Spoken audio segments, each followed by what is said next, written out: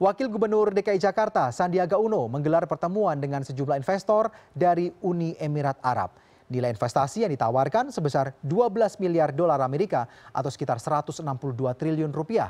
Investasi ini akan diakomodasikan untuk membangun infrastruktur, khususnya percepatan transportasi, rekayasa industri, kesehatan, dan properti. Target investasi yang mereka akan uh, bidik sekitar 12 miliar dolar. Uh, tapi saya ingatkan karena itu mungkin target yang sangat besar ya. Uh, jadi lebih uh, realistis melihat mana yang bisa dikerjakan.